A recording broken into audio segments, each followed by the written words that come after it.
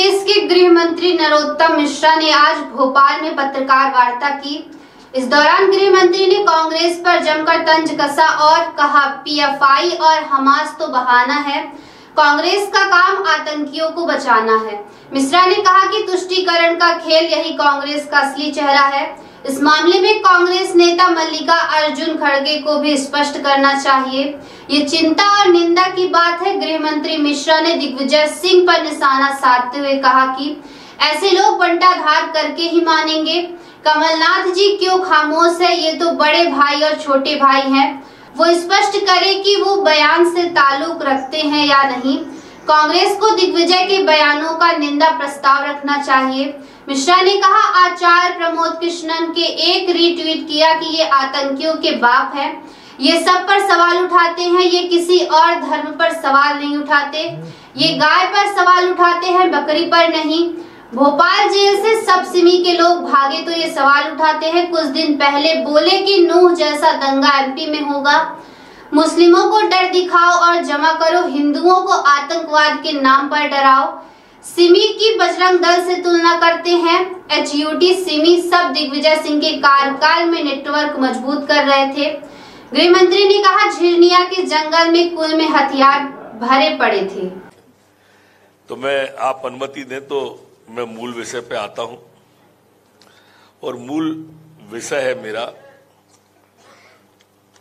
PFI Digvijay Singh, Hamas.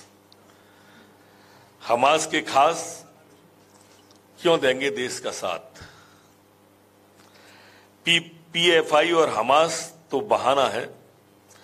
Congress का काम आतंकियों को बचाना है। तुष्टीकरण से प्रेम, यही है कांग्रेस का असली गेम। आज तक ये बात समझ में नहीं आ पाई। कि जब दिग्विजय सिंह के अपनों पर चोट होती है तो दर्द से तिलमिला जाते हैं वो। हमास ने जब इज़राइल पर आक्रमण किया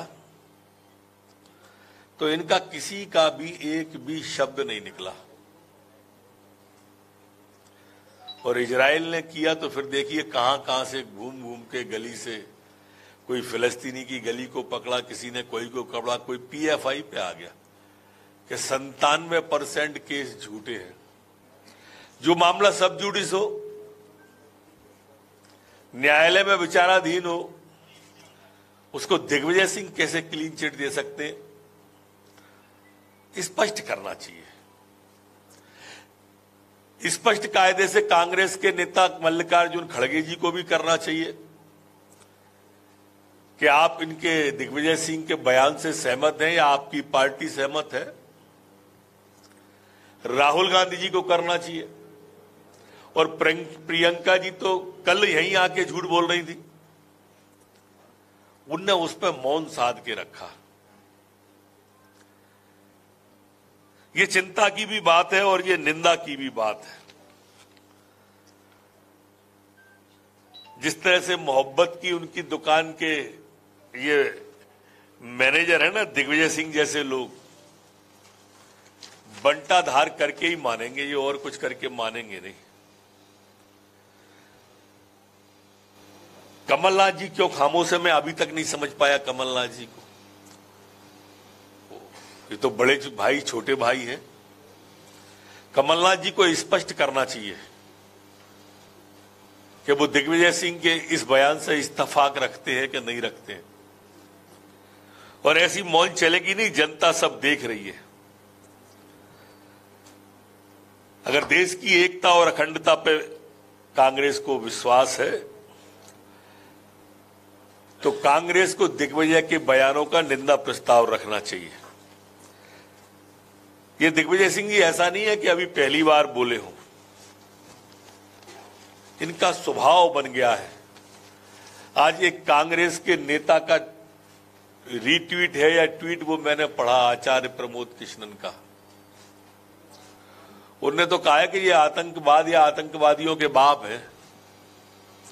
ऐसा अभी अभी रस्ते में पढ़ता में आ रहा था।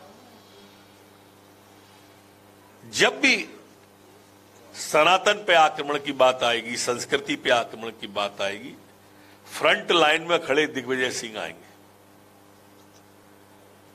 भगवा को आतंकवाद से जोड़ने वाला कोई हो, विषय हो, राम मंदिर की तारीख पर सवाल उठाने वाले दिग्विजय सिंह हो, महाकाल पर लोक पर सवाल उठाने वाले दिग्विजय सिंह हो, आपने कभी इनको किसी दूसरे धर्म पर सवाल उठाते देखा है क्या?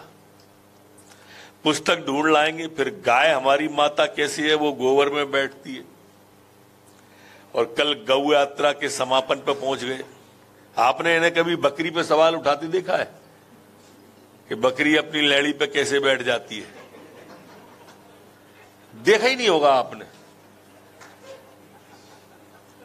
मैं आपका ध्यान उस तरफ़ आकर्षित कर रहा हूँ कि कोई व्यक्ति किस तरह से और कोई संगठन, कोई पार्टी, जो घमंडिया गठबंधन है वो, ये सबके सब किस तरह से ऐसे विषयों को उठाते हैं। जाकिर नायक को शांति दूत कहते हैं दिग्विजय सिंह जी। सबने सुना होगा आपने कि किस तरह से वो ओसामा को, ओसामा जी बोलते हैं, जाकिर नाइक को शांति दूत बोलते हैं, बटाला हाउस की पीड़ा झलकती है, मैडम को ले जाकर आँसू बब्बाते हैं। आतंकियों की मौत की बात कर रहा हूँ ये मैं। भोपाल जेल से जब सिमी के लोग भगे तो सबसे पहले घुमाकर सवाल उठाने वाले और कोई नहीं थे, वो आदरणीय दिग्विजय सिंह जी थे।